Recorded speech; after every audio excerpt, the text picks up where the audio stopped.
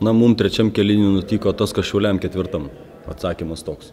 Tai buvo pasimetimas absoliutus ir, ir nežinojimas, ką daryti. Tai va, nors, sakykime, žaidėjai žino, ką daryti, bet dėl tam tikrų priežasčių, sakau, toks, toks pasimetimas iš, iš mūsų įžaidėjų, aš įskirčiau būtent įžaidėjai, kurie abu, sakykime, padarė 11 klaidų, tai yra švelniai pasakant per daug. Vienas šešias, kitas penkias klaidas. Bet važiuoju, turbūt ne, nepalaimėti, važiuoju kaip 31.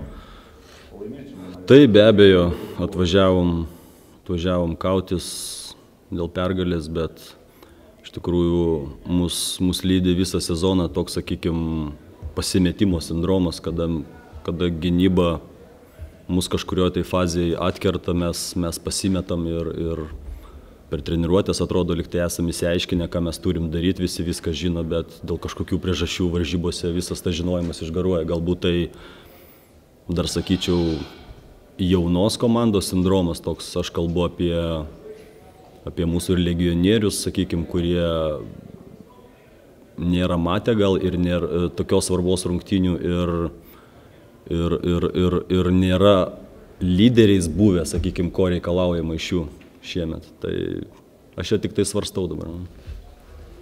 Ketvirtam kelyje pavydėt, perėmėt iniciatyvą ir ko, ko, ko trūko lemiamų momentų šalto proto?